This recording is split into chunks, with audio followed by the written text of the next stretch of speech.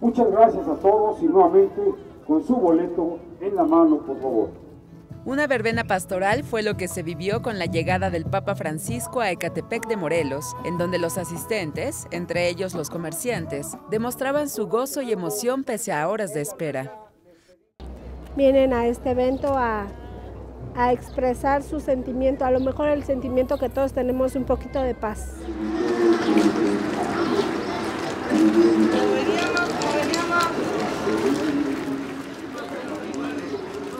Globos, rosarios, estampas, fotos, banderas y una gran cantidad de artículos con la imagen del Papa fueron de los objetos más vendidos por los comerciantes, además de alimentos.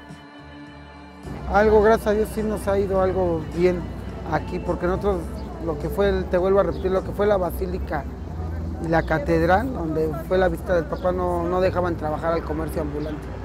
Música, porras, grupos pastorales, lugareños, visitantes, extranjeros. Todos ellos en plena fiesta deseaban que el tiempo corriera rápido para ver pasar el papamóvil con su copiloto de lujo y recibir una bendición con el solo hecho de verlo de lejos. Espero que sea una gran bendición para México y para todos los que estamos acá, que venimos de otros países, que sea un mensaje con mucha paz. Aunque a decir de los marchantes las ventas eran bajas, ellos no se desanimaban y sabían que mejoraría la vendimia conforme estuviera cerca la hora de que llegara el jefe de la Iglesia Católica. Ayer estuve también en la Basílica de Guadalupe, hay gente que viene desde muy lejos, vienen con mucha fe y muy contentos, muy alegres, en familia.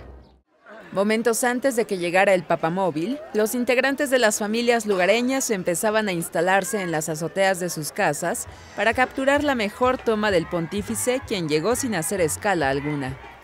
Emocionada por la novedad, por somos católicos y pues creemos en punto de las 11.17 horas, el Papa Francisco arribó al predio El Caracol, ubicado en el municipio más poblado del Estado de México, donde ya lo esperaban, al interior, aproximadamente 300.000 personas, mientras en las afueras otra aglomeración hizo lo propio y muy alegres seguían su recorrido a través de sus celulares.